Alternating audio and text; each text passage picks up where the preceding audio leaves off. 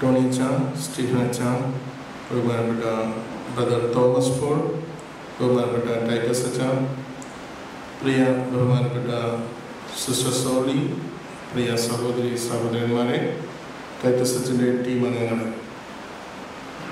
Youth കാറ്റ് training for young കാറ്റഗിസ്റ്റ് എന്നാണ് നമ്മുടെ ട്രെയിനിങ് പ്രോഗ്രാമിന്റെ പേര്. ചെറുപ്പക്കാരായ മതാധ്യാപകർക്ക് യു കാറ്റിൽ ട്രെയിനിങ് നൽകുന്നു. ഇത് ട്രെയിനേഴ്സ് ട്രെയിനിങ് ക്യാമ്പാണ് അതുകൊണ്ട് തന്നെ നിങ്ങളെ ട്രെയിൻ ചെയ്ത് നിങ്ങളിലൂടെ അനേകം പേരെ ട്രെയിൻ ചെയ്യാൻ വേണ്ടിയിട്ടുള്ള ഒരു എളിയ ശ്രമമാണ്. അതുകൊണ്ട് നിങ്ങൾ ഈ രണ്ട് ദിവസത്തെ പരിപാടിയിൽ പങ്കെടുക്കുന്ന നിങ്ങൾ ട്രെയിനേഴ്സ് ആണ് എന്നുള്ള ബോധ്യത്തിൽ ഈ സെഷൻസിനോട് സഹകരിക്കണം. നിങ്ങൾ ട്രെയിൻഡ് ആയാലാണ് മറ്റുള്ളവരെ അനേകം പേരെ ട്രെയിൻ ചെയ്യാനായിട്ട് കഴിയുള്ളൂ എന്ന ഒരു ഓർമ്മപ്പെടുത്തലാണ്. ബൈബിളിൽ ഒരു അന്ധയാചകനെ പരിചയപ്പെടുത്തുന്നുണ്ട്.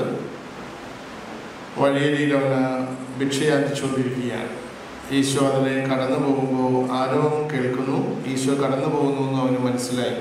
ജനങ്ങളുടെ ശബ്ദത്തിൽ നിന്ന് ഈശോയാണെന്ന് അവന് തിരിച്ചറിയാൻ സാധിച്ചു. അപ്പോൾ അവൻ ഉച്ചത്തിൽ വിളിച്ചു പറഞ്ഞു യേശുവെ ദാവീദിന്റെ പുത്ര എന്നെ കനിയണമേ. അപ്പോൾ ആളുകൾ അവനോട് മിണ്ടാതിരിക്കാൻ പറഞ്ഞു. അവനെ ശാസിച്ചു. അവൻ കൂടുതൽ ഉച്ചത്തിൽ വിളിച്ചു പറഞ്ഞു യേശുവെ ദാവീദിന്റെ പുത്ര എന്നെ കനിയണമേ. അവൻ വീണ്ടും ഇങ്ങനെ ഉച്ചത്തിൽ അത് ആവർത്തിച്ചുകൊണ്ടിരുന്നപ്പോൾ ഈശോ അത് കേട്ടു. ഈശോ കേൾക്കാൻ വേണ്ടിയിട്ടാണ് അവൻ അത്രയും ഉച്ചത്തിൽ പറഞ്ഞത്. ഈശോ ആളുകളോട് പറഞ്ഞു അവനെ ഇങ്ങോട്ട് വിളിച്ചുകൊണ്ട് പോവാം അവനെ ആളുകളോട് ആളുകൾ ചെന്ന് അവരുടെ അടുത്ത് പറഞ്ഞു യേശു നിന്നെ വിളിക്കുന്നു. അപ്പോൾ ഭിക്ഷക്കാരന്റെ ആ പുറങ്കുപ്പായം എടുത്ത് അവൻ വലിച്ചെറിഞ്ഞ് കളഞ്ഞിട്ട് അവൻ ചാടി എഴുന്നേറ്റ് യേശുവിന്റെ അടുത്ത് ചെന്നു. ഈശോ അവനോട് ചോദിച്ചു നിനക്ക് എന്ത് വേണം? അവൻ പറഞ്ഞു എനിക്ക് കാഴ്ച വീണ്ടും കിട്ടണം. ബാഹ്യമായിട്ട് അന്ധനാണെങ്കിലും ആന്തരികമായിട്ട് ജ്ഞാനമുള്ള വെളിച്ചമുള്ള മനുഷ്യനാണ് ആ അവിടെ ഭിക്ഷ യാചിച്ചിരുന്നത് എന്ന് വചനം സാക്ഷ്യപ്പെടുത്തുകയാണ്. കാരണം അവൻ യേശു ആരെന്ന് തിരിച്ചറിഞ്ഞവനാണ്. ദാവീദിന്റെ പുത്രനാണ് എന്ന് യേശുവിനെ കേട്ടിട്ടുള്ളവൻ ഹൃദയം കൊണ്ട് തിരിച്ചറിയുകയും ആ ദാവീദിന്റെ പുത്രനിൽ നിന്ന് കാഴ്ച വീണ്ടും കിട്ടാനായിട്ട് അവൻ അതിയായി ആഗ്രഹിക്കുകയും ചെയ്തു എന്നുള്ളതാണ്. യേശു ആരാണ് എന്ന് ശ്രോതാക്കളിൽ നിന്ന് യേശുവിനെ കേട്ടവരിൽ നിന്ന് അവൻ കേൾക്കുകയും ഹൃദയം കൊണ്ട് അവൻ വിശ്വസിക്കുകയും അതരം കൊണ്ട് അവൻ അത് ഏറ്റുപറയുകയും ചെയ്യുകയാണ് അതാണല്ലോ ഹൃദയം കൊണ്ട് വിശ്വസിക്കുകയും അതരം കൊണ്ട് ഏറ്റുപറയുകയും ചെയ്യണം. അതാണല്ലോ വിശ്വാസത്തിന്റെ സാക്ഷ്യം. മനോഹരമായിട്ട് ഈ കഴിഞ്ഞ ആഴ്ചയിൽ കോട്ടയത്ത് ഇതുപോലൊരു അന്ധയായ സ്ത്രീ ഹൃദയം കൊണ്ട് വിശ്വസിച്ച് അതരം കൊണ്ട് ഏറ്റുപറഞ്ഞു അവൻ യേശുവാണെന്ന് അവൻ കർത്താവാണ് അവൻ ക്ഷമയാണെന്ന് അവൻ സ്നേഹമാണെന്ന് അവൻ കരുണയാണെന്ന്.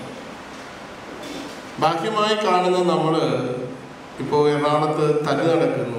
വൈദികരും മെത്രാമാരും പരസ്പര ധാരണയില്ലാതെ പോകുന്നു. അനുസരണയില്ലാതെ പോകുന്നു. വലിയ ഇടർച്ച വൈദികരുടെ ജീവിതത്തിൽ നിന്ന് അൽമായർക്കും മറ്റു വിശ്വാസികൾക്കും ഒക്കെ കിട്ടുന്നു. വലിയൊരു പ്രതിസന്ധിയിൽ വലിയൊരു വിശ്വാസ പ്രതിസന്ധിയിൽ ജനങ്ങൾ വിശ്വാസികൾ നട്ടം തിരിയുന്ന സമയത്താണ് വിശ്വാസത്തിന്റെ മനോഹരമായ മെഴുകുതിരി വെളിച്ചവുമായിട്ട് കോട്ടയത്ത് നിന്ന് ഒരു സ്ത്രീ ഒരു അന്ധയ അന്ധയായിട്ടുള്ള ഒരു ലോട്ടറി വിൽപ്പനക്കാരിയായ വളരെ സാധാരണക്കാരിയായ ഒരു സ്ത്രീ വിളിച്ചു പറയുന്നു അവൻ ദാവിദിന്റെ പുത്രനായ ക്രിസ്തുവാണ്. അവനെന്റെ രക്ഷകനാണ്. അവനെന്റെ സ്നേഹിതനാണ്. അവൻ ക്ഷമയാണ്. അവൻ സ്നേഹമാണ്. ആ സ്ത്രീ ചെയ്തത് നിങ്ങൾ പത്രത്തിൽ വായിച്ചതാണ് നിങ്ങൾക്കറിയാം. അവളുടെ ലോട്ടറി ആരോ അടിച്ചു മാറ്റി കൊണ്ടുപോകുന്നു എന്ന് മനസ്സിലായപ്പോൾ കൂട്ടുകാരുടെ അന്ധനായ മറ്റൊരാളുടെ സഹായത്തോടു കൂടി ഒരു പേന ക്യാമറ പേന മേടിച്ച് നെഞ്ചത്ത് കുത്തിവെച്ചിട്ട് ഈ ലോട്ടറി എടുത്തുകൊണ്ട് പോണവനെ അവൾ തിരിച്ചറിഞ്ഞു. എന്തായാലും അവളും കാഴ്ചയുള്ള മറ്റൊരാളും ഈ എടുത്തുകൊണ്ട് പോയ ആളെ തിരിച്ചറിഞ്ഞിട്ടുണ്ട്. പക്ഷെ അവൾ മാധ്യമങ്ങളോടോ പോലീസിനോടോ മറ്റാരോടോ ഈ പ്രതിയെ കാണിച്ചു കൊടുത്തില്ല. അവൾ പറഞ്ഞു ആരും ഇതറിയില്ല നീ മേലിൽ ഇത് ചെയ്യരുത്. ഈശോ ആ പാപിനിയായ സ്ത്രീയോട് പറഞ്ഞില്ലേ ഞാൻ നിന്നെ വിധിക്കുന്നില്ല. മേൽ പാപം എന്തൊരു ക്രിസ്തീയതയാണ്. നമ്മുടെ അച്ഛന്മാരും കാറ്റഗിസം ടീച്ചേഴ്സും ഒക്കെ എത്രയോ പാപ്പരാണ് എത്രയോ വലിയ ദരിദ്രരാണ്. നമ്മൾ എന്തുമാത്രം ദാരിദ്ര്യത്തിലാണ് ജീവിക്കുന്നത്? ഈ സ്ത്രീയുടെ മുമ്പിൽ നമ്മൾ ഒന്നും അല്ലാതായി പോവാണ്. നിങ്ങൾ വർഷങ്ങളായിട്ട് കാറ്റഗിസം പഠിപ്പിക്കുന്നവരാണ്. ഞാൻ ഇരുപത്തെട്ട് വർഷമായിട്ട് അച്ഛനായി ജീവിക്കുന്ന ആളാണ്. ആ സ്ത്രീയുടെ മുമ്പിൽ ഞാൻ ഒന്നും അല്ലാതായി തീരുക കാറ്റഗിസം പഠിപ്പിക്കുന്നവരോടാണ് പറയുന്നത്. ഹൃദയത്തിൽ വിശ്വസിക്കുകയും അതരം കൊണ്ട് ഏറ്റുപറയാനായിട്ട് പിള്ളേരെ പരിശീലിപ്പിക്കുകയും ചെയ്യുന്നവരാണ്? നമുക്ക് ഈ ഹൃദയത്തിലെ ബോധ്യം ഉണ്ടെങ്കിലാണ് നമുക്കിത് ഏറ്റുപറയാൻ സാധിക്കും ആ സ്ത്രീ ടി വി ടെലിവിഷൻകാരോട് എന്താ പറഞ്ഞത്? ഞാൻ ഞായറാഴ്ച പള്ളിയിൽ പോകുന്നവളാണ്. ഞായറാഴ്ച ഞങ്ങൾ പള്ളിയിൽ എന്താ പറയുന്നത്? ക്ഷമിക്കാനാണ്. സ്നേഹിക്കാനാണ്. പൊറുക്കാനാണ്. അതുകൊണ്ട് ഞാൻ പൂർണമായും ക്ഷമിക്കുന്നു. ഞാൻ പൂർണമായും അവനോട് ക്ഷമിക്കുകയാണ്.